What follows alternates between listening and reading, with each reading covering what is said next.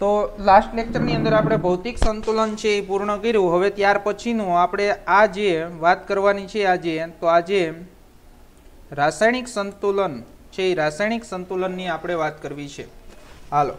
તો એની અંદર વિદ્યાર્થી મિત્રો, હવેનું જે તમારું રાસાયણિક સંતુલન છે, તો રાસાયણિક સંતુલનની આપણે છે એ વાત કરીએ. તો એની અંદર આપણો ટોપિક છે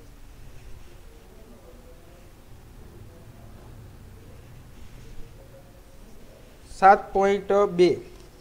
રાસાયણિક પ્રક્રિયામાં રાસાયણિક પ્રક્રમમાં રાસાયણિક પ્રક્રમમાં ગતિશીલ સંતુલન, રાસાયણિક પ્રક્રમમાં સંતુલન સંતુલન અને ગતિશીલ સંતુલન. ગતિશીલ ગતિશીલ. સંતુલન. હાલો. તો એની અંદર, વિદ્યાર્થી મિત્રો, આ વસ્તુ રાસાયણિક પ્રક્રિયાની અંદર આપણે ભૌતિક પ્રક્રમની અંદર સંતુલન છે. એ સંતુલનનો આપણે અભ્યાસ કર્યો. હવે અત્યારે આપણે રાસાયણિક સંતુલન છે એનો અભ્યાસ કરવાનો છે. તો રાસાયણિક સંતુલન છે એ ખાસ વિદ્યાર્થી મિત્રો આપણે સમજવાનું છે. અને રાસાયણિક સંતુલન જો તમને અત્યારે અહીંયા જે સમજાવું એ આવડી જશે, એટલે આખું પાછળનું જે ચેપ્ટર છે એ તમારા માટે એકદમ સરળમાં સરળ બની જશે. તો એની અંદર જેમ આપણે ભૌતિક સંતુલનની જેમ વાત કરી, તો એવી જ રીતે આપણે શું કરવાનું છે? તો આપણે રાસાયણિક સંતુલન છે એ રાસાયણિક સંતુલન આપણે સમજવાનું છે. તો પહેલાં તો તમને ખબર છે કે ભાઈ સંતુલન ક્યારે સ્થપાય? તો સંતુલન છે એ સંતુલન ક્યારે સ્થપાશે? તો એવી રાસાયણિક પ્રક્રિયા હોવી જોઈએ કે જે પુરોગામી અને પ્રતિગામી, ખબર છે ને? પુરોગામી અને પ્રતિગામી પ્રક્રિયા થતી હોવી જોઈએ. કેવી થતી હોવી જોઈએ? પુરોગામી અને પ્રતિગામી પ્રક્રિયાઓ છે, એ પ્રક્રિયાઓ થતી હોય. ત્યારે શું થશે? તો એની અંદર તમને ખબર છે, પુરોગામી પ્રક્રિયાનો વેગ અને પ્રતિગામી પ્રક્રિયાનો વેગ છે, એ કેવા થાય? સમાન થાય ત્યારે શું થશે? કે ભાઈ પ્રક્રિયાની અંદર છે એ સંતુલન સ્થપાયેલું હોય તેમ આપણે કહી શકાય. તો એની અંદર વિદ્યાર્થી મિત્રો, જેમ આપણે રાસાયણિક ભૌતિક સંતુલન છે એવી જ વ્યાખ્યા એવી જ છે રાસાયણિક સંતુલનની અંદર. પણ આપણે અહીંયા જે હવે સંતુલન છે, તો એ સંતુલનની અંદર આપણે શું કરવાનું છે? તો એની અંદર પ્રક્રિયકો અને નિપજ છે. તો એ નિપજની આપણે વાત કરવાની છે. તો એની અંદર એક સામાન્ય રિએક્શન લઈએ. તો એની અંદર એક આપણે સામાન્ય છે એ સામાન્ય પ્રક્રિયા લઈ અને હું તમને સમજાવું છું અને બધા જ વિદ્યાર્થી મિત્રોનું ધ્યાન અહીંયા હોવું જોઈએ. આજે જે સમજાવું એ જો સમજાઈ જશે એટલે તમને એ આખું ચેપ્ટર તમારા માટે છે એ શું થઈ જશે? આખું ચેપ્ટર તમારા માટે એકદમ સરળમાં સરળ છે એ સરળ થઈ જશે, ઓકે? હાલો. તો એની અંદર આપણે રાસાયણિક સંતુલન કેવી રીતે પ્રાપ્ત થશે? તો એ રાસાયણિક સંતુલનની અંદર એક આપણે સામાન્ય છે, એ સામાન્ય રિએક્શન લખીએ. એ પ્લસ બી ગીવ શું થશે? સી પ્લસ ડી ઓકે હાલો. તો એની અંદર તમને બધાને ખબર છે, જ્યાં એ બી છે, એ શું છે? તો એ બી છે, એ શું છે, વિદ્યાર્થી મિત્રો? પ્રક્રિયકો. શું છે? પ્રક્રિયકો. અને સી અને ડી છે, એ શું છે? તો સી અને ડી છે, એ શું છે? નિપજો. આ જે એરો, તમને બધાને ખબર છે, પ્રક્રિયકમાંથી નિપજ બને તો તે પ્રક્રિયાને કઈ પ્રક્રિયા કહેવાય? પુરોગામી પ્રક્રિયા. કઈ પ્રક્રિયા કહેવાય? પુરોગામી પ્રક્રિયા. અને જ્યારે નિપજોમાંથી પાછો પ્રક્રિયક બને, એને કઈ પ્રક્રિયા કહેવાય? પ્રતિગામી પ્રક્રિયા. કઈ પ્રક્રિયા કહેવાય? પ્રતિગામી પ્રક્રિયા. તો હવે તમારે સંતુલન છે, તો એ સંતુલનની શું આપવી હોય? વ્યાખ્યા. તો સંતુલન છે, એ સંતુલનની વ્યાખ્યા આપી હોય કે જ્યારે પ્રક્રિયામાં છે, એ પ્રક્રિયામાં પુરોગામી અને પ્રક્રિયા પુરોગામી અને પ્રતિગામી પ્રક્રિયાનો દર કેવો હોય, સમાન હોય, તો ત્યારે તે પ્રક્રિયામાં સંતુલન સ્થપાયેલું છે તેમ કહી શકાય. તો જ્યારે પુરોગામી પ્રક્રિયા, પુરોગામી અને પ્રતિગામી, પુરોગામી અને પ્રતિગામી પ્રક્રિયાનો પ્રક્રિયાનો દર કેવો હોય? પ્રક્રિયાનો દર એટલે વેગ હો. પ્રક્રિયાનો દર સમાન હોય. શું હોય? સમાન. તો ત્યારે તે પ્રણાલી અથવા તે પ્રક્રિયામાં સંતુલન સ્થપાયેલું છે તેમ કહી શકાય. બીજી રીતે પણ એક વ્યાખ્યા મેં તમને કીધું હતું ભૌતિક સંતુલનની અંદર કે ભાઈ પ્રક્રિયા દરમિયાન છે એ પ્રક્રિયામાં શું થશે કે પ્રક્રિયકો અને નિપજોની સાંદ્રતા કેવી થાય? અચળ. ત્યારે પણ સંતુલન સ્થપાયેલું છે એમ કહેવાય. તો જ્યારે પ્રક્રિયકો અને નિપજોની સાંદ્રતા અને નિપજની છે એ નિપજની શું થશે? સાંદ્રતા. તો નિપજની સાંદ્રતા છે એ સાંદ્રતા કેવી થાય? અચળ. અચળ હોય તો ત્યારે તે પ્રક્રિયામાં શું સ્થપાયેલું છે? સંતુલન સ્થપાયેલું છે તેમ કહી શકાય. ઓકે હાલો. હવે આના ઉપરથી એક મારે છે એ શું કરવો છે? તો આના ઉપરથી મારે એક ગ્રાફ સમજાવવો છે તમને. શું સમજાવવો છે? ગ્રાફ. અને એ ગ્રાફ આપણે ઝડપથી સમજી લઈએ. એટલે તમને ખ્યાલ આવે. તો આપણે ગ્રાફની વાત કરીએ, તો એની અંદર હાલ. તો એની અંદર હવે આપણે કોના વિરુદ્ધ કોનો ગ્રાફ દોરવો છે? તો સાંદ્રતા વિરુદ્ધ છે એ સાંદ્રતા વિરુદ્ધ આપણે છે, એ સમયનો છે એ શું કરવો છે? તો ગ્રાફ દોરવો છે. હવે એની અંદર આપણે જે હમણાં સામાન્ય પ્રક્રિયા જોઈ, એનો જ આપણે શું કરીએ છીએ? ગ્રાફ દોરીએ છીએ. તો વિદ્યાર્થી મિત્રો, આ અક્ષિસ ઉપર આપણે શું લેવાનું છે? સાંદ્રતા. પણ કોની સાંદ્રતા? તો તમને બધાને ખબર છે કે આપણે પ્રક્રિયકો અને નિપજો છે એ બંનેની સાંદ્રતા અહીંયા દર્શાવશું. અને આ અક્ષિસ ઉપર આપણે શું લેશું? તો આ અક્ષિસ ઉપર આપણે છે એ સમય લેશું, ઓકે? હાલો. તો હવે એની અંદર આપણે વાત કરીએ, તો એની અંદર તમને બધાને હમણાં જે સામાન્ય રિએક્શન લખ્યું હતું, એ સામાન્ય રિએક્શન પાછું આપણે લખી નાખીએ. કે ભાઈ એ પ્લસ બી ગીવ શું આપને મળે છે? નિપજ C plus D okay? A B છે એ શું છે? તો એ બી છે એ પ્રક્રિયકો છે. અને સી અને ડી છે એ શું છે? તો સી અને ડી નિપજો છે. તો વિદ્યાર્થી મિત્રો એ અને બી છે, તમને ખબર છે કે શરૂઆતની અંદર છે એ શું હોય? તો એ અને બી પ્રક્રિયકો છે, એની સાંદ્રતા છે એ કેવી હોય? તો એની સાંદ્રતા છે એ શું હોય? તો એની સાંદ્રતા છે એ કેવી હશે? તો સાંદ્રતા છે એની વધારે હશે. કોની? એ અને બી. શરૂઆતની અંદર. હજી તમારે પ્રક્રિયા ચાલુ નથી થઈ. અહીંયા જો ટી બરાબર શું આવ્યું? ઝીરો સમય. પ્રક્રિયા હજી ચાલુ જ નથી થઈ. એટલે તમને ખબર હોવી જોઈએ કે એ, બી છે એની સાંદ્રતા કેવી હોય? મહત્તમ હોય. અને જ્યારે આ સી પ્લસ ડીની સાંદ્રતા હજી પ્રક્રિયા ચાલુ જ નથી થઈ, તો એની સાંદ્રતા કેવી હોય? સૂર્ય હોય.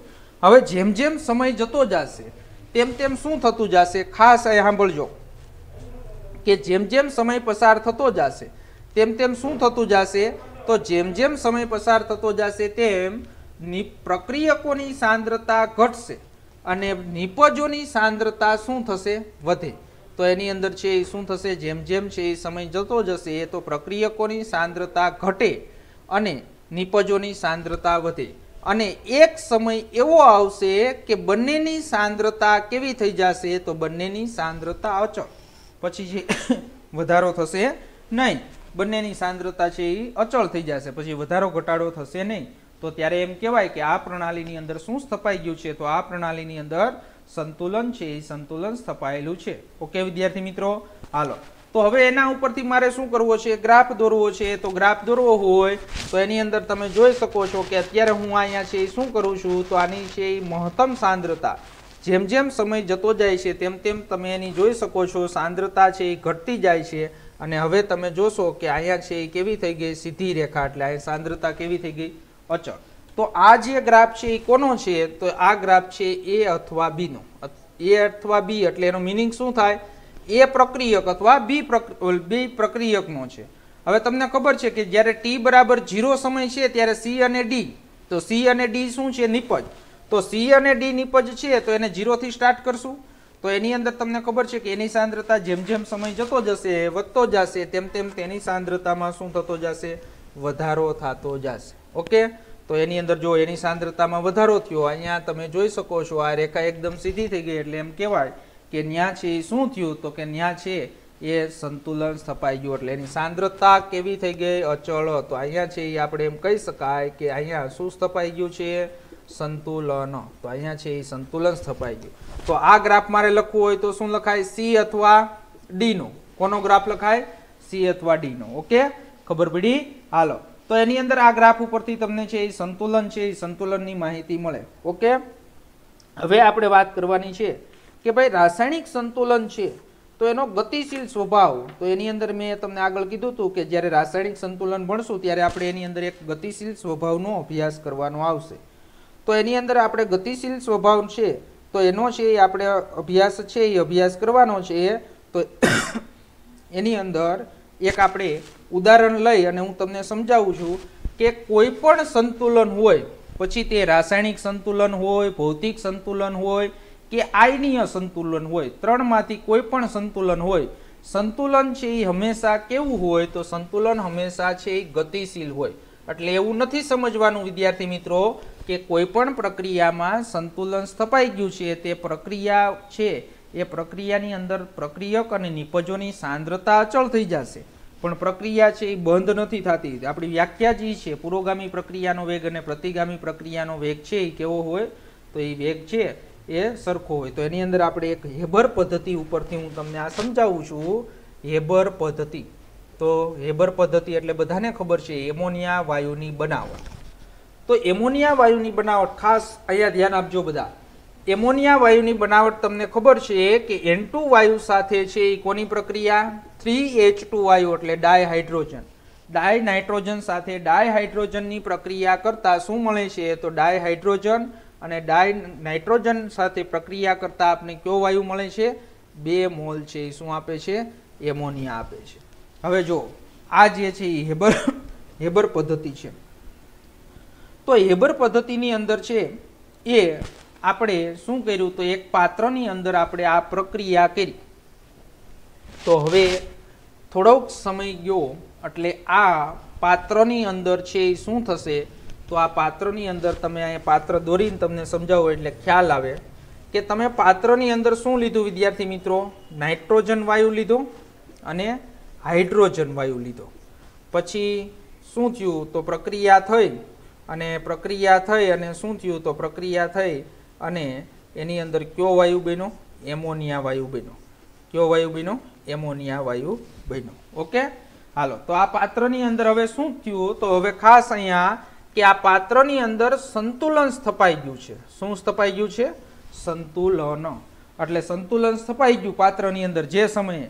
તો સંતુલન સ્થપાઈ ગયા પછી આપણે એની અંદર શું કરીએ છીએ? ખાસ અહીંયા ધ્યાન આપજો.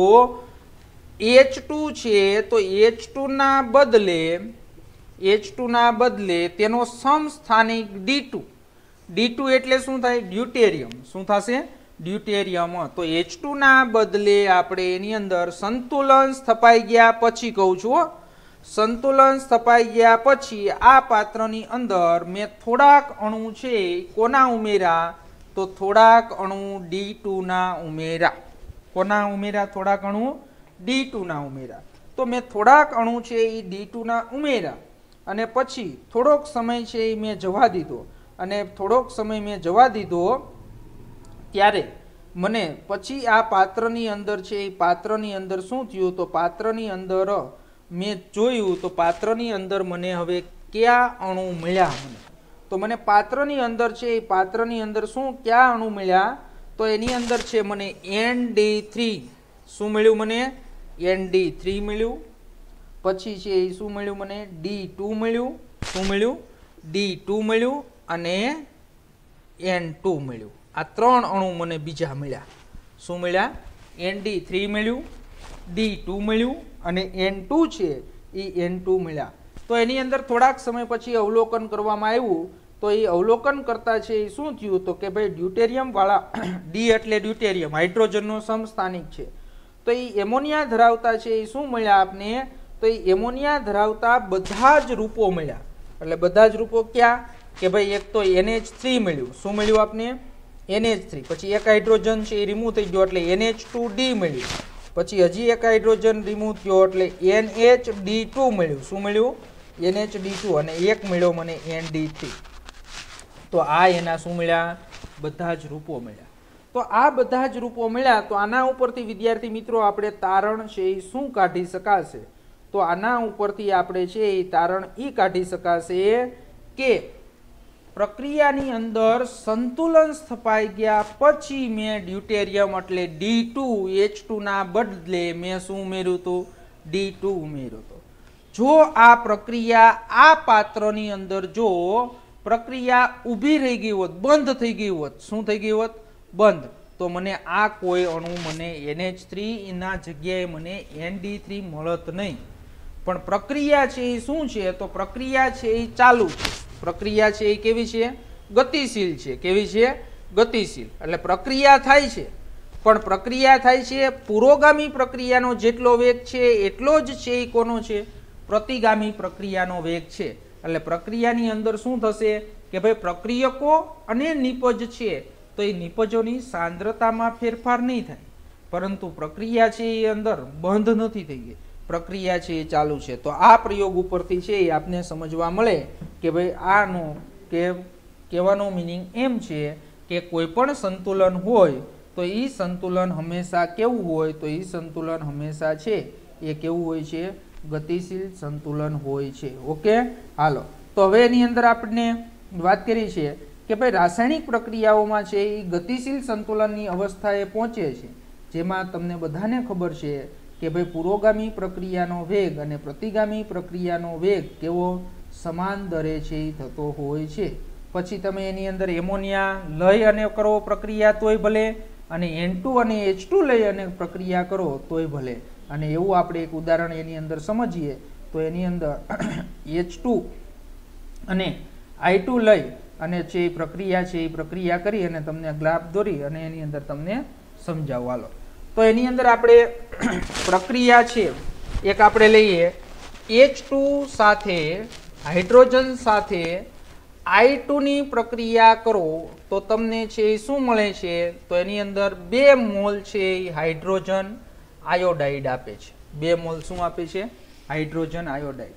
એટલે જો તમે શું કર્યું? કે અત્યારે તમે એચ અને આઈ લઈ અને પ્રક્રિયા કરી, તો તમને શું આપ્યું? Hydrogen iodide. મારે એમ નથી પ્રક્રિયા કરવી. મારે હવે શું લેવું છે?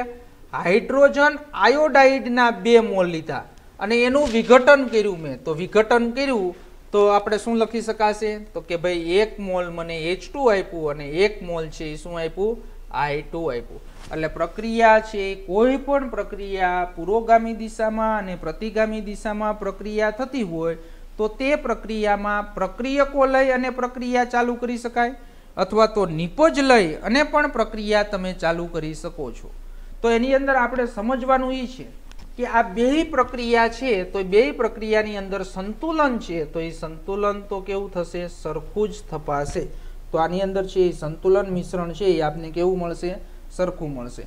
તો આ બે પ્રક્રિયા ઉપરથી હું તમને ગ્રાફ સમજાવું છું, એટલે ખ્યાલ આવી જાય તમને. તો આ બે અક્ષિસ ઉપર આપણે અહીંયા શું લેશું? તો અહીંયા સાંદ્રતા લેશું. અહીંયા શું લેશું આપણે? સાંદ્રતા. અને અહીંયા પણ છે એ આપણે શું લેશું તો અહીંયા પણ લેશું આપણે સાંદ્રતા. અને આ અક્ષિસ ઉપર આપણે શું લેશું તો આ અક્ષિસ ઉપર આપણે સમય લેશું. ઓકે? હાલો. હવે મારે પેલા પ્રક્રિયા છે એ શું કરવી છે? તો પેલા પ્રક્રિયા પ્રક્રિયા છે, તો એ મારે પ્રક્રિયા છે એ શું કરવું છે? તો એ પ્રક્રિયા આપણે છે એ પહેલી પ્રક્રિયા એચ અને આઈ ટુ લઈ અને પ્રક્રિયા કરીએ. શું લઈએ? એચ ટુ અને આઈ એટલે પહેલાં પ્રક્રિયાનો હું છે એ શું કરું છું? તો પહેલાં પ્રક્રિયાનો હું ગ્રાફ દોરું છું. તો તમને ખબર છે, આ શું છે? પ્રક્રિયકો છે. તો પ્રક્રિયકોની સાંદ્રતા કેવી હોય? તો પ્રક્રિયકોની સાંદ્રતા છે એ મહત્તમ હોય. જેમ જેમ સમય જતો જશે, તેમ તેમ શું થતું જશે? તો જેમ જેમ સમય જતો જશે, તેમ તેમ છે એ શું થતું જશે? એની સાંદ્રતા છે એ ઘટતી જશે. ઓકે? અને એ જ પ્રક્રિયાની આપણે વાત કરીએ તો એની અંદર આ હાઇડ્રોજન આયોડાઇડ છે એ શું છે? તો હાઇડ્રોજન આયોડાઇડ નિપજ છે. એ કેવી હોય? તો કે ભાઈ શૂન્ય હોય, જેમ જેમ સમય જતો જશે, તેમ તેમ તેની સાંદ્રતામાં શું થતો જશે? વધારો થતો જશે. એટલે આ પહેલી પ્રક્રિયાનો મેં અહીંયા ગ્રાફ દોર્યો. ઓકે? સમજણ પડી? આ કોનો ગ્રાફ છે? એચ અને આઈ ટુનો છે. અને આ છે એ કોનો છે? એચઆઈનો હાઇડ્રોજન આયોડાઇડનો. ઓકે?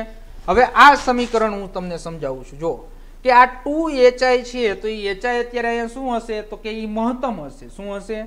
એચઆઈ છે એ મહત્તમ હશે. પણ જેમ જેમ સમય જતો જશે, એમ શું થતું જશે? તો જેમ જેમ સમય જતો જશે, તેમ તેમ તેની સાંદ્રતા ઘટતી જશે. તો આ ઘટી ગઈ. તો આ કોનો ગ્રાફ થઈ ગયો એચઆઈ. એચ ટુ અને આઈ ટુ છે એ શું છે? તો એચ ટુ અને આઈ ટુ છે એ અત્યારે અહીંયા શું છે? નિપજ છે. શરૂઆતમાં જીરો હોય. અને પછી જેમ જેમ છે એ શું થતું જશે? તો જેમ જેમ સમય જતો જશે, અહીંયા ઝીરો છે એટલે જેમ જેમ સમય જતો જશે, તેમ તેમ તેની સાંદ્રતામાં શું થતો જશે? વધારો થતો જશે. ઓકે? સમજણ પડી? તો એની અંદર હવે તમે જોઈ શકો છો કે અહીંયા એની સાંદ્રતા છે એ કેવી છે? અચળ છે. તો અહીંયા છે એ શું થશે? તો અહીંયા છે એ શું સ્થપાયેલું છે? તો અહીંયા શું સ્થપાયેલું છે વિદ્યાર્થી મિત્રો? સંતુલન છે એ સંતુલન સ્થપાયેલું છે. તો એની અંદર આ ગ્રાફ શું કહેવા માંગે છે તમને? તો શુદ્ધ ગુજરાતીમાં તમને સમજાઈ દઉં. કે કોઈ પણ સંતુલન અથવા તો કોઈ પણ પ્રક્રિયા પુરોગામી અને પ્રતિગામી દિશામાં થતી હોય, તો તે પ્રક્રિયાની અંદર પ્રક્રિયકથી નિપજ તરફ જઈ શકાય અથવા નિપજથી શું પ્રક્રિયક તરફ પણ છે એ જઈ શકાય. ઓકે, વિદ્યાર્થી મિત્રો, તો આ આપણે છે એની અંદર શું સમજ્યા? તો એની અંદર સંતુલન, રાસાયણિક પ્રક્રમમાં સંતુલન અને સંતુલનનો છે એ કેવો સ્વભાવ? તો સંતુલન છે એનો ગતિશીલ સ્વભાવ સમજ્યા હવે, આ જે ટોપિક મેં તમને ભણાવ્યો, ખરેખર આ ટોપિક છે એ તમને ભણાવવાની જરૂર નહોતી. કારણ કે આ જે છે એ આપણા સિલેબસમાંથી શું કર્યું છે, તો આ સાત પોઈન્ટ જે બે છે એ આપણા સિલેબસની અંદર છે એ રિમૂવ કરી દીધું છે ઓલું ત્રીસ ટકા. પણ મારે શું કા તમને સમજાવવું પડ્યું? કારણ કે આજ જો વસ્તુ તમને ન સમજાય, તો આગળનો તમને એક પણ ટોપિક છે એ સમજાત નહીં. પણ હવે સાત પોઈન્ટ ત્રણ જે આવે છે, શું આવે છે? સાત પોઈન્ટ ત્રણ. રાસાયણિક સંતુલનનો નિયમ અને સંતુલન અચળાંક તો એ ખાસ વિદ્યાર્થી મિત્રો એ આવડી ગયું. એટલે સમજવાનું કે આખે આખું ચેપ્ટર તમારું છે એ શું થઈ ગયું? કમ્પ્લીટ થઈ ગયું. ઓકે? હાલો. તો રાસાયણિક સંતુલનનો નિયમ અને સંતુલન અચળાંકની આપણે વાજે વાત કરીએ. અને જો આ આવડી ગયું, એટલે સમજી લેજો કે તમારું આખું ચેપ્ટર છે એ આખું ચેપ્ટર તમારું અહીંયા કમ્પ્લીટ થઈ જશે. હાલો, તો એની વાત કરી દઈએ. તો ત્યાર પછીનો આપણે ટોપિક જોઈએ. રાસાયણિક સંતુલન નિયમ અને સંતુલન અચળાંક રાસાયણિક રાસાયણિક સંતુલન. રાસાયણિક સંતુલનનો નિયમ સંતુલનનો નિયમ અને અને સંતુલન અચળાંક અને સંતુલન અચળાંક હાલ. તો એની અંદર હવે આપણે વાત કરવી છે રાસાયણિક સંતુલનનો નિયમ અને સંતુલન અચળાંક છે એ આપણે સમજવું છે. તો એની અંદર આપણે એક સામાન્ય પ્રક્રિયા છે, તો એ સામાન્ય પ્રક્રિયા લઈ અને આપણે છે એ રાસાયણિક છે એ રાસાયણિક સંતુલન નિયમ અને એના ઉપરથી આપણે શું કરવું છે, તો એના ઉપરથી આપણે સંતુલન અચળાંક છે એ સંતુલન અચળાંક અને સંતુલન નિયમ છે એ આપણે સમજવો છે. ઓકે? હાલો. તો એની અંદર ખાસ અહીંયા ધ્યાન રાખજો. એક આપણે સામાન્ય પ્રક્રિયા લઈ. તો સામાન્ય પ્રક્રિયા આપણે હમણાં લીધી હતી, એ જ લઈએ. A plus B gives C plus D તો એ બી છે એ શું છે? તો એ બી છે એ તમને બધાને ખબર છે, પ્રક્રિયકો છે અને સી ડી છે એ શું છે? તો નિપજો છે. તો એની અંદર આ જે નોર્વેના વૈજ્ઞાનિક કેટો મેક્સિમિલન ગુલ્ડબર્ગ નામના સાયન્ટિસ્ટે છે આ ખાસ સંતુલિત સમીકરણ સાથે છે, એ સંબંધિત છે અને આ સાયન્ટિસ્ટે આ સંતુલન નિયમ અને સંતુલન અચળાંકનું છે એ શું કર્યું છે, તો એણે છે એ સંશોધન કરેલું છે. હવે આપણે એની અંદર તમને આ પ્રક્રિયા માટે છે, એ પ્રક્રિયા માટે શું લખવું છે, તો આ પ્રક્રિયા માટે તમારે સંતુલન અચળાંક તો સંતુલન અચળાંક જે છે, એને આપણે શું નામ આપશું? કે સી. કે એટલે સંતુલન અચળાંક અને અહીંયા જે સી દર્શાવ્યો છે નાનો, એનો મતલબ થશે કોન્સન્ટ્રેશન. શું થશે?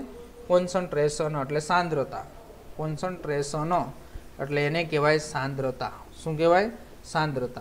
અને ઘણી જગ્યાએ આગળ આપણે ભણશું, એટલે આવશે કેપી. તો કેપી એટલે શું થશે? તો પીનો મતલબ ત્યાં થશે દબાણ. અહીંયા સી નો મતલબ થશે સાંદ્રતા. ઓકે? હવે મારે પહેલાં તમને હું એમ કહું છું, સંતુલન અચળાંકો. તો સંતુલન અચળાંક છે એ આપણે અહીંયા લખવું હોય તો સંતુલન અચળાંક કેવી રીતે લખી શકાય? તો સંતુલન અચળાંક છે એ લખવા માટે આપણે શું કરવાનું છે? તો સંતુલન અચળાંક છે એ લખવા માટે આપણે શું કરશું? તો એની અંદર સંતુલન અચળાંક તમારે લખવો છે, તો એની એક તમને વ્યવસ્થિત રીતે એક વ્યાખ્યા તમને છે એ લખાવી દો અહીં લખી નાખવું એટલે તમને ખ્યાલ આવી જાય, એટલે પછી આગળ ક્યાંય તમને પ્રશ્ન થાય નહીં.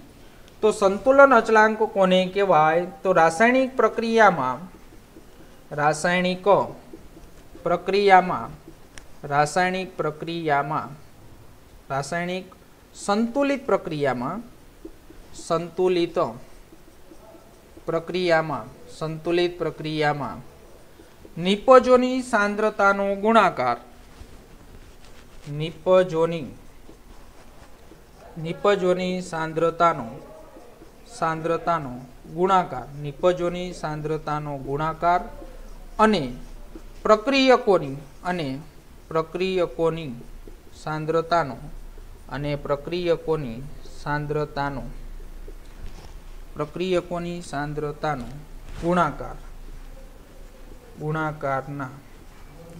તો એની અંદર સંતુલિત પ્રક્રિયા હોય તો નિપજોની સાંદ્રતાનો ગુણાકાર અને પ્રક્રિયકોની સાંદ્રતાનો ગુણાકાર ગુણાકાર ના ભાગવાથી. ગુણાકાર. ના ભાગવાથી. ભાગવાથી. શું થશે? તો ના ભાગવાથી. અચળ મૂલ્ય પ્રાપ્ત થાય છે. શું થાય છે? અચળ મૂલ્ય પ્રાપ્ત થાય છે. અચળ મૂલ્ય પ્રાપ્ત થાય છે. તો જે અચળ મૂલ્ય પ્રાપ્ત થયું તો એને શું કહેવાય? તો એને કહેવાય સંતુલન અચળાંક. તો અત્યારે, વિદ્યાર્થી મિત્રો, હું આ જે તમને રાસાયણિક પ્રક્રિયા આપેલી છે, તો તે રાસાયણિક પ્રક્રિયાની અંદર હું તમને એમ કહું કેસી લખવું છે. શું લખવું છે તમારે? કેસી કેસી એટલે શું થશે? સંતુલન અચળાંક શું થશે? સંતુલન અચળાંક તો એ સંતુલન અચળાંક છે. હવે તમારે આની અંદર શું કરવું છે? એનો સંતુલન અચળાંક લખવો છે. તો મેં તમને એની છે એ સંતુલન નિયમ લખો શું લખું નિપજોની સાંદ્રતાનો ગુણાકાર. તો નિપજ અત્યારે કોણ છે વિદ્યાર્થી મિત્રો સી અને ડી તો બંનેની જે સાંદ્રતા હોય એનો શું કરવાનો? ગુણાકાર. અને આ ચેપ્ટરની અંદર આપણે આવા પ્રકારનો જે કાઉન્સ, મોટો કાઉન્સ. મોટો કાઉન્સ લખશું એટલે આને વચાશે રસાયણ વિજ્ઞાનની ભાષામાં આને કહેવાય સાંદ્રતા. શું વચાય આને? સાંદ્રતા. તો હવે તમારે નિપજોની સાંદ્રતા છે એ લખવી હોય તો નિપજોની સાંદ્રતા શું લખાય? તો નિપજોની સાંદ્રતા એટલે આને બોલાય જો આમ. સી ની સાંદ્રતા. શું બોલાય? સી ની સાંદ્રતા. અને આ કાઉન્સ લખો એટલે ડી ની સાંદ્રતા. બેનો શું કર્યો? ગુણાકાર. છેદમાં. તો છેદમાં શું આવશે? તો છેદમાં પ્રક્રિયકોની સાંદ્રતાનો ગુણાકાર. એટલે શું થશે? એની સાંદ્રતા ઇન્ટુ બીની સાંદ્રતા. તો વિદ્યાર્થી મિત્રો, કોઈ પણ હવે રિએક્શન આપેલું હોય, હમણાં આપણે એના ઉદાહરણ લેવા છે. તો એ રિએક્શન છે, એ રિએક્શનની અંદર તમને આવી રીતે એનો સંતુલન અચળાંક છે એ લખતા આવડવો જોઈએ. પણ એક વસ્તુ અહીંયા સમજજો કે અત્યારે જો અહીંયા એના કેટલા મોલ છે તો એક મોલ છે બીના કેટલા મોલ છે, એક મોલ છે સીના કેટલા મોલ છે, એક મોલ છે ડીના કેટલા મોલ છે, એક મોલ છે. તો બધી જ આવી રાસાયણિક પ્રક્રિયાઓની અંદર છે તો એ રાસાયણિક પ્રક્રિયાની અંદર આવું થશે નહીં.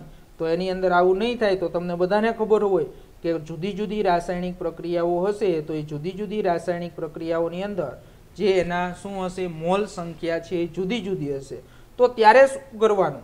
કે જ્યારે મોલ સંખ્યા છે એ જુદી જુદી હશે, ત્યારે જે મોલ સંખ્યા છે તો તે પ્રક્રિયક અને તે નિપજના સાંદ્રતાના ઘાતાંકમાં લખવાના છે. એમ હું બોલું તો એમ કાંઈ તમને કાંઈ ખબર પડી જાય નહીં. પણ હવે મારે એનું ઉદાહરણ આપવું છે તમને. તો ઉદાહરણ હવે તમને અહીં આપું. એચ ટુ વાયુ સાથે કોની પ્રક્રિયા થાય છે? આઈ ટુ વાયુની પ્રક્રિયા થાય તો બે મોલ છે. એ શું આપે તમને? ટુ એચ આઈ હાઇડ્રોજન આયોડ જો એચ ટુના મોલ એક આઈ ટુના મોલ એક, પણ હાઇડ્રોજન આયોડાઇડના બે મોલ. હવે જો મેં તમને હમણાં કીધું આ પ્રક્રિયા માટે કેસી સંતુલન અચળાંક લખો, તો કેસી ઇક્વલ ટુ તમને ખબર જ છે. અહીંયા શું લખવાનું? નિપજોની સાંદ્રતાનો ગુણાકાર. શું લખાશે? નિપજોની સાંદ્રતાનો છે એ સાંદ્રતાનો ગુણાકાર. છેદમાં શું લખાશે? પ્રક્રિયકોની સાંદ્રતાનો ગુણાકાર. પ્રક્રિયકોની સાંદ્રતાનો ગુણાકાર. ઓકે? આવડે બધાને? હાલો. હવે એક વસ્તુ જોવો. કે મેં હમણાં તમને એમ કીધું કે જ્યારે આ પ્રક્રિયક કે નિપજનો શું હોય તત્વ યોગમિતીય ગુણાંક. શું હોય? તત્વ યોગમિતીય ગુણાંક. તો તત્વ યોગમિતીય જે ગુણાંક છે, તો એ ગુણાંક તમારે ક્યાં લખવાનો? તેના ઘાતાંકમાં લખવાનો. તો હવે તમારે જો અહીંયા કેસી ઇક્વલ ટુ લખવું હોય, તો કેસી ઇક્વલ ટુ સમીકરણ તમને લખતા આવડવું જોઈએ. નિપજોની સાંદ્રતાનો ગુણાકાર. પણ નિપજ અહીંયા એક જ છે, એટલે આપણે શું લખશું? એચઆઈની સાંદ્રતા. શું લખશું? એચઆઈની સાંદ્રતા.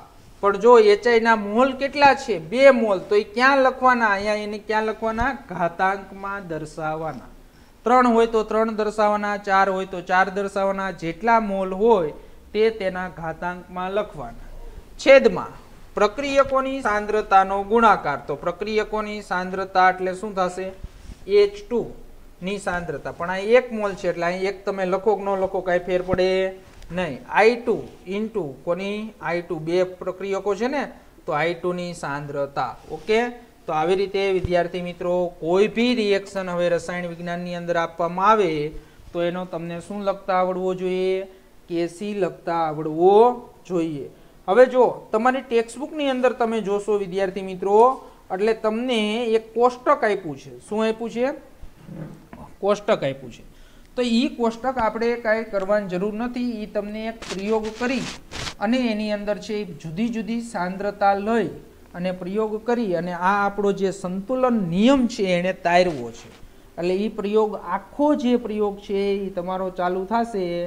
તો એ પ્રયોગ છે એ પ્રયોગને તમારે ધ્યાનમાં લેવાનો નથી. કારણ કે એ આપને પ્રાયોગિક ડેટા આપ્યા છે. અને પ્રાયોગિક ડેટા આપી અને આપને એમ કીધું છે કે આ જ પ્રક્રિયા છે. જો શું છે? સમજાઈ દો, હાલો. તો એની અંદર તમને એમ કીધું છે કે આ તમે લખો સંતુલન અચલાંક કેસી. આ પ્રક્રિયાનો, એટલે એ સાચો છે. પણ જો આપણે હમણાં આગળ ભણ્યા, તમે આમ કેસી લખો. તો આમ કેસી લખશો કે ભાઈ એચઆઈની સાંદ્રતા. શું લખશો? એચઆઈની સાંદ્રતા. છેદમાં એચ ટુની સાંદ્રતા ઇન્ટુ આઈ ટુની સાંદ્રતા. અહીંયા ખાલી સ્ક્વેર નથી કર્યો. તો આજે આપણો સંતુલન અચલાંક છે એ છે કેવો? ખોટો છે. અને આ આપણો છે સંતુલન અચલાંકનું સૂત્ર કેવું છે? સાચું છે. તો એ કેવી રીતે ખબર પડે? તો હવે જો કોષ્ટક તમને જે હું તમને સમજાવી દઉં છું, એટલે તમારા મગજમાં છે એ બેસી જાય કે તમને કોષ્ટક આપ્યું છે, પ્રારંભિક સાંદ્રતા આપી છે અને સંતુલન સાંદ્રતા આપી છે. તમને એની અંદર છ પ્રયોગ કરેલા છે અને છ એ છ પ્રયોગની અંદર સાંદ્રતા આપી છે. અને એ જે છ એ છ પ્રયોગની સાંદ્રતા આપી છે, તો એની અંદર આગળ સમજાવી દઉં તમને. તો એની અંદર તમે જોશો, છ એ છ પ્રયોગની અંદર તમે પેલા આમ લખવું કે ભાઈ બે સૂત્ર તમે હમણાં મેં લખ્યા ને અહીંયા એચઆઈની સાંદ્રતા છેદમાં એચ ટુની સાંદ્રતા ઇન્ટુ આઈ ટુની સાંદ્રતા. આ આપણું સૂત્ર ખોટું છે. પણ એની જગ્યાએ જો તમે આમ લખો કે ભાઈ એચઆઈની સાંદ્રતાનો સ્ક્વેર છેદમાં શું થશે? એચ ટુની સાંદ્રતા ઇન્ટુ આઈ ટુની સાંદ્રતા. આ તમારું સમીકરણ છે કેવું છે? સાચું છે. હવે તમે અહીંયા જુદા જુદા જે પ્રયોગ છ આપ્યા છે, એ છએ છ પ્રયોગની તમારે કિંમત મૂકી અને તમારે અહીંયા કેસીનું મૂલ્ય શોધવાનું છે. શું શોધવાનું છે? કેસીનું મૂલ્ય શોધવાનું. તો એચઆઈની સાંદ્રતા જે હોય, અહીંયા મૂકવાની છ છ પ્રયોગની અંદર એચ ટુની સાંદ્રતા અને આઈ સાંદ્રતા મૂકવાની. તો તમને અહીંયા કેસી શું મળશે? અઢારસો ને ચાલીસ. પછી અહીંયા કેસી શું મળશે? સોળસો દસ. ત્રીજા રીડિંગની અંદર છે કેટલો મળશે? ચૌદસો. ચોથા રીડિંગની અંદર કેટલો મળશે? પંદરસો ને વીસ. પાંચમા રીડિંગની અંદર કેટલો મળશે? ઓગણીસો ને સિત્તેર. કેટલો મળ્યો? ઓગણીસો ને સિત્તેર. છઠ્ઠા રીડિંગની અંદર કેટલો મળ્યો? સાતસો ને નેવું. તો તમે તો એમ કહેતા હતા કે આ કેસી છે, એને શું કહેવાય? તો કેસીને સંતુલન અચલાંક કહેવાય. તો કેસી સંતુલન અચલાંક છે? તો એ પ્રક્રિયા દરમિયાન છે, એ સંતુલન અચલાંક છે, એ જુદા જુદા પ્રયોગો કર્યા. તો સંતુલન અચલાંકનું મૂલ્ય કેવું આવવું જોઈએ? તો અચળ આવવું જોઈએ. પણ જો બદલાતું રહે છે, બધા પ્રયોગની અંદર છે, એ બદલાયેલું છે. તો એની અંદર આપણે એમ કહી શકાય કે આ સૂત્ર કાંક ખોટું હોવું જોઈએ. તો હવે આપણે શું કર્યું? તો એની અંદર બે મોલ હાઇડ્રોજન આયોડાઇડ હતા, તો અહીંયા મેં સ્ક્વેર લખી નાખ્યું. શું લખી નાખ્યું? સ્ક્વેર. તો હવે સ્ક્વેર લખી અને મેં ગોઈતું. તો એના જ આ બધા રીડિંગ અહીંયા જે મૂક્યા તે જ અહીં મૂકવાના. પણ એનો ખાલી સ્ક્વેર કરી નાખવાનો. તો ત્યાં છેતાલીસ પોઈન્ટ આપણે શું મળ્યું? ચાર મળ્યું. અહીંયા સુડતાલીસ પોઈન્ટ છે એ આપને શું મળ્યું? તો સુડતાલીસ પોઈન્ટ છ મળ્યું. અહીંયા વળી પાછું આપને છેતાલીસ પોઈન્ટ છે એ સાત મળ્યું. અહીંયા છેતાલીસ પોઈન્ટ નવ મળ્યું. અહીંયા છેતાલીસ પોઈન્ટ ચાર મળ્યું. અને અહીંયા છેતાલીસ પોઈન્ટ ચાર મળ્યું. તો વિદ્યાર્થી મિત્રો, તમે જોઈ શકો છો કે અહીંયા કેસીનું મૂલ્ય છે, એ કેસીનું મૂલ્ય કેવું છે? તો કેસીનું મૂલ્ય અચળ છે. તો હવે આપણે કોઈ પણ રાસાયણિક પ્રક્રિયા હોય તો તે રાસાયણિક પ્રક્રિયાની અંદર શું કરશું? તો તો એ રાસાયણિક પ્રક્રિયાની અંદર શું કરશું? કે જે એના તત્વ યોગમિતીય ગુણાંક કયો તો વાંધો નહીં, મોલ સંખ્યા કયો તો વાંધો નહીં. તો એ તત્વ યોગમિતીય ગુણાંક છે, એને એના ઘાતાંકની અંદર લેતા પ્રક્રિયકોની વ્યક્તિગત વ્યક્તિગત સાંદ્રતાઓને અનુરૂપ અને તત્વ યોગમિતીય ગુણાંકને ઘાતાંકની અંદર લઈ અને જો એને ભાંગવાથી મૂલ્ય છે, એ મૂલ્ય કેવું મળશે? અચળ મળશે અને આ જે છે એને શું કહેવાય? સંતુલન નિયમ કહેવાય. ઓકે? હાલો, સમજણ પડી ગઈ? તો હવે આપણે એના ઉપરથી આગળ સમજીએ. તો એની અંદર મારે એક સામાન્ય પ્રક્રિયા પાછી તમને હું શીખવાડી દઉં. હાલો, એક સામાન્ય શું લઉં છું? હું પ્રક્રિયા લઉં છું. હવે એની અંદર small A, capital A. Small B, capital B. Gives. Small C, capital C.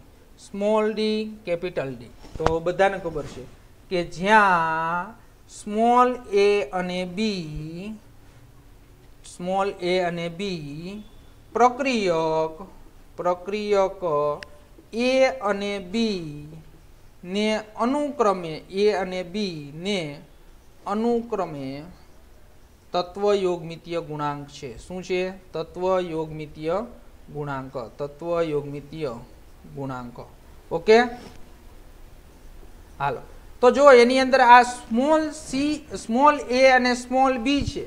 તો સ્મોલ એ છે એનો તત્વયોગમિતીય ગુણાંક. અથવા જો તત્વયોગમિતીય ગુણાંક ન બોલવું હોય તો એના મોલ સંખ્યા. અહીંયા કેપિટલ બી છે એ આપણો શું છે? પ્રક્રિયક છે. પણ એના તત્વયોગમિતીય ગુણાંક સ્મોલ બી છે. તો એવી જ રીતે તમને સી, સ્મોલ સી અને ડી નિપજ નિપજ સી અને ડી ના શું છે? તત્વ યોગમિતીય ગુણાંક છે. તો હવે વિદ્યાર્થી મિત્રો, હું તમને એમ કહું આનો તમારે શું લખવો છે? કેસી લખવો છે. તો કેસી એટલે શું થશે? તો કેસી એટલે તમને બધાને ખબર છે. શું થશે? તો કેસી એટલે સંતુલન અચળાંક. તો સંતુલન અચળાંક તમને હમણાં જ કીધું. શું લખી કીધું? પ્રક્રિયકોની સાંદ્રતાનો ગુણાકાર છેદમાં નિપજોની સાંદ્રતાનો ગુણાકાર છેદમાં પ્રક્રિયકોની સાંદ્રતાનો ગુણાકાર. લખતા આવડે બધાને હવે? જુઓ, નિપજ શું છે તમારી સી તો સીની સાંદ્રતા. પણ એનો તત્વયોગમિતીય ગુણાંક એના ક્યાં લખવાનો? ઘાતાંકમાં. એટલે એનો ઘાતાંક શું થશે? સી પછી નિપજ તમારી શું છે? તો નિપજ છે તમારી ડી પણ એનો તત્વયોગમિતીય ગુણાંક શું છે? તો કે સ્મોલ ડી એવી જ રીતે હવે તમારે છેદમાં પ્રક્રિયકોની સાંદ્રતા, તો પ્રક્રિયકોની સાંદ્રતાનો ગુણાકાર, એટલે પ્રક્રિયક શું છે? એ. એની સાંદ્રતા શું થશે? એનો ઘાતાંક છે એ શું થશે? સ્મોલ એ શું થશે એનો ઘાતાંક?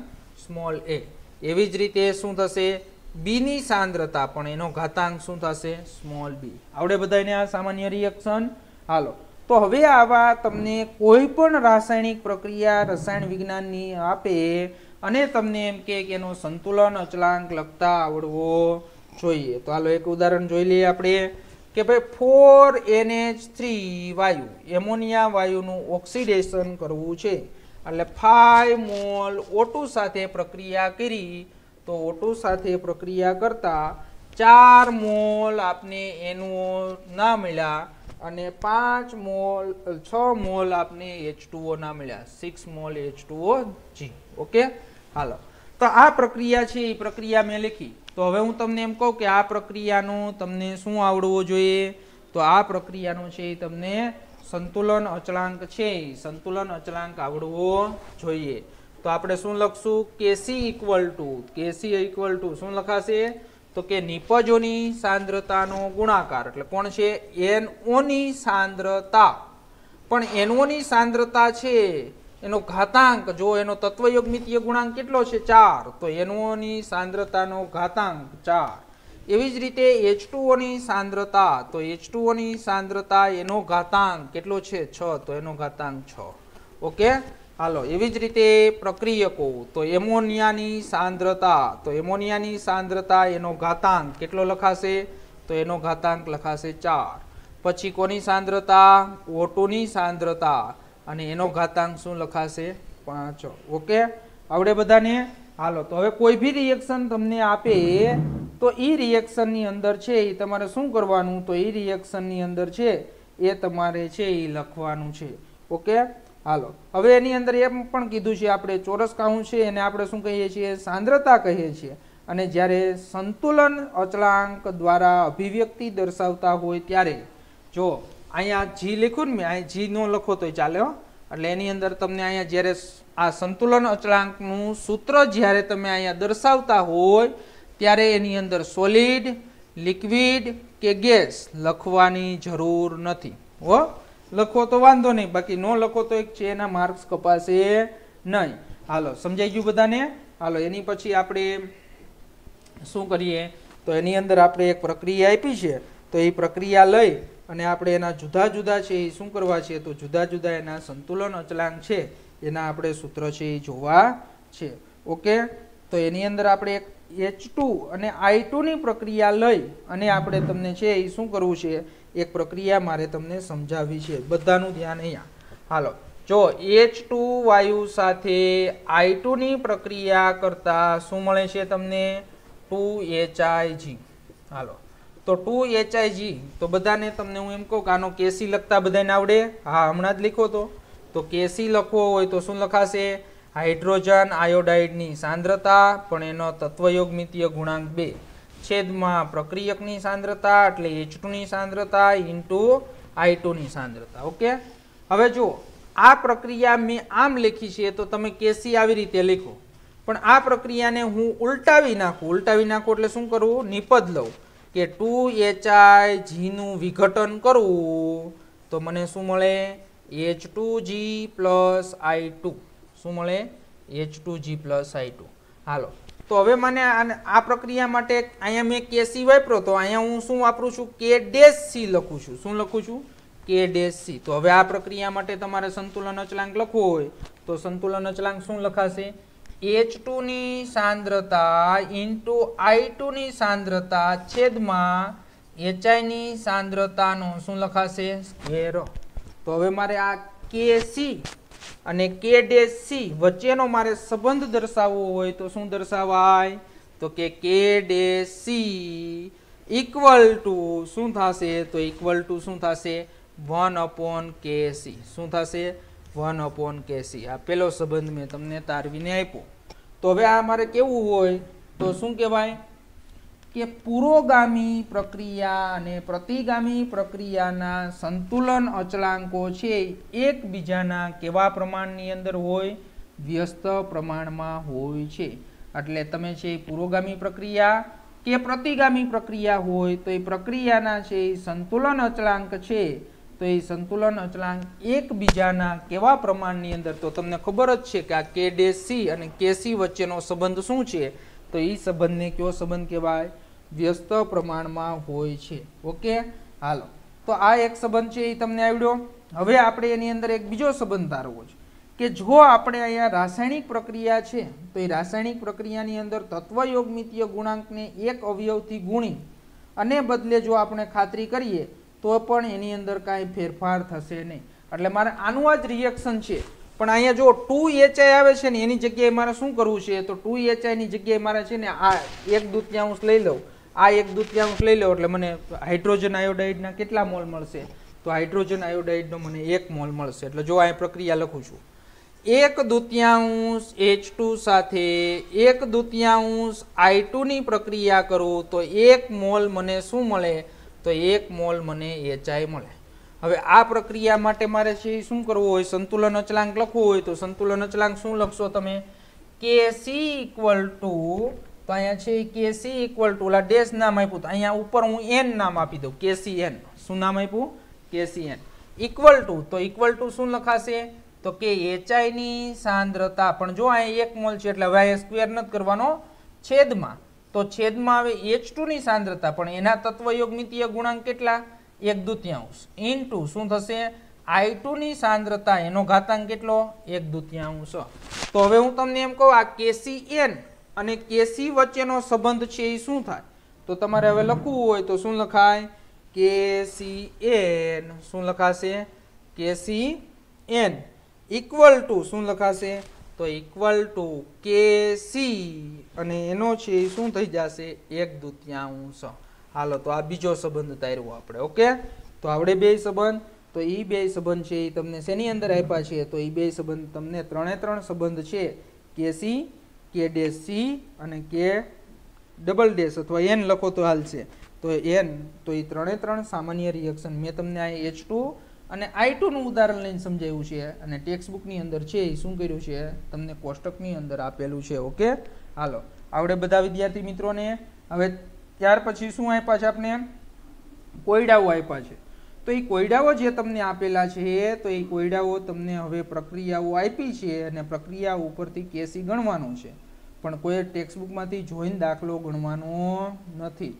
એટલે તમારી જાતે છે એ બે દાખલા ગણજો, તો જ તમને આ કેસી લખતા પ્રેક્ટિસ થશે. એટલે જાતે દાખલાઓ છે એ ગણવાના છે. તો કોયડો સાત પોઈન્ટ એક અને સાત પોઈન્ટ બે છે. એ પણ શું આપ્યું છે? હોમવર્કની અંદર છે, એ હોમવર્કની અંદર આપ્યું છે. તો વિદ્યાર્થી મિત્રો, આજે તો તમે એમ કહેશો કે સાહેબ આજે હોમવર્ક છે એ બહુ વધી જશે. પણ સાત પોઈન્ટ બે જે મેં પોઈન્ટ ચલાવ્યો, સાત પોઈન્ટ બે. એ તમારે હોમવર્કમાં કરવાનું નથી એ તો મારી ખાલી તમને આ બધું સમજાઈ જાય, એટલા માટે મેં સમજાવ્યું હતું અને એ આપણા સિલેબસની અંદર પણ નથી. એટલે સાત પોઈન્ટ બે હોમવર્ક નથી કરવાનું, સાત પોઈન્ટ ત્રણ આખું હોમવર્ક કોયડા સુધી કરવાનું છે અને કોયડાઓ બે છે એ પણ તમારે હોમવર્કમાં કરવાના છે. ઓકે? એટલે સાત પોઈન્ટ ત્રણ એક જ ટોપિક હોમવર્કની અંદર કરવાનો છે, આખે આખો કોષ્ટક આવતા હોય તો કોષ્ટક સહિત કરવાનો છે. એટલે તમને ખ્યાલ આવે પછી કોષ્ટક ક્યારેય પરીક્ષામાં પૂછાશે નહીં. એટલે ગોખવા નહીં મળતા કોષ્ટકો કોષ્ટક છે એ ગોખવાના નથી, પણ તમને ખબર પડે એટલા માટે તમારે તૈયાર કરવાનું છે. ઓકે? હાલો, બે કોયડાઓ છે એ કમ્પ્લીટ કરી નાખજો. અને આવતા લેક્ચરની અંદર આપણે કાલે સમાંગ સંતુલન અને વિસ્માંગ સંતુલન છે, તો એ વિસ્માંગ સંતુલનની આપણે વાત કરીશું. ઓકે? હાલો, ત્યાર પછી એના ઉપયોગો આવશે. તો એની અંદર એ પછી સંતુલન અચલાંક ઉપર અસર કરતા પરિબળો આવશે. તો આપણે આગળ છે એ આગળ ચલાવતા જશું. તો વિદ્યાર્થી મિત્રો, અહીંયા સુધી જે આજે, આજના લેક્ચરની અંદર તમે જે અભ્યાસ કર્યો છે, તો એ ખાસ વ્યવસ્થિત રીતે કમ્પ્લીટ તૈયાર કરજો. એટલે પાછળનું આખું જે ચેપ્ટર છે, તો એ ચેપ્ટરની અંદર તમને ક્યાંય પણ છે, એ પ્રશ્ન છે, એ પ્રશ્ન થશે નહીં.